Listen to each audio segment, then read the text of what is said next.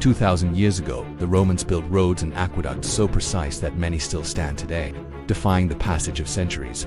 Their secret wasn't just brute strength, but a genius understanding of materials, terrain, and maintenance. Every road was constructed in multiple layers, large stones at the base for stability, gravel for drainage, and tightly packed sand to create a smooth, enduring surface. The surface itself was crowned slightly in the middle, allowing rainwater to flow to the sides, preventing erosion and rot. This wasn't mere transportation, it was a lifeline for commerce, communication, and military dominance. The aqueducts, perhaps even more remarkable, carried fresh water from distant springs and mountains into the heart of cities.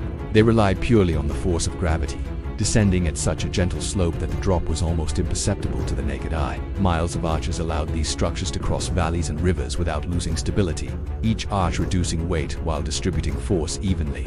Inside, channels were lined with a special waterproof mortar that kept the water pure and the structure sound. Together, these feats formed the veins and arteries of the Roman Empire. Roads moved legions, merchants, and ideas. Aqueducts brought health, sanitation, and prosperity. They transformed barren land into thriving centers of civilization. And though the empire itself crumbled, the stones remain. A silent testimony to an age when human ambition dared to build, not just for the present, but for eternity.